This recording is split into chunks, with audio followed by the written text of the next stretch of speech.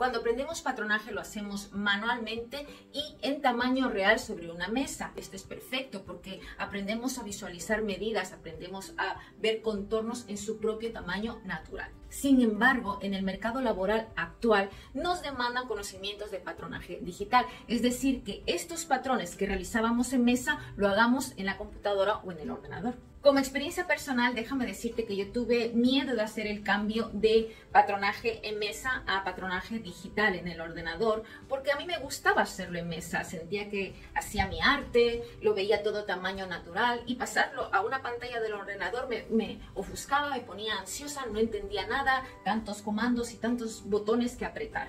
No te voy a mentir, no es sencillo, pero una vez que con paciencia y con cariño cada día le dedicas un momento de aprendizaje, agiliza muchísimo tu trabajo como patronista. Incluso si eres patronista a nivel de modistería, podrás tener todos tus patrones digitalizados en una biblioteca que tú podrás guardar, organizar, revisar, en lugar de tener tantos patrones colgados en tu pared que a veces no sabes ni de quién es qué. Así que desde mi lado te recomiendo que te sumes al carro del patronaje digital, que verás potenciar tus habilidades como patronista, por supuesto también a tu nivel de currículum y al servicio de tus clientes.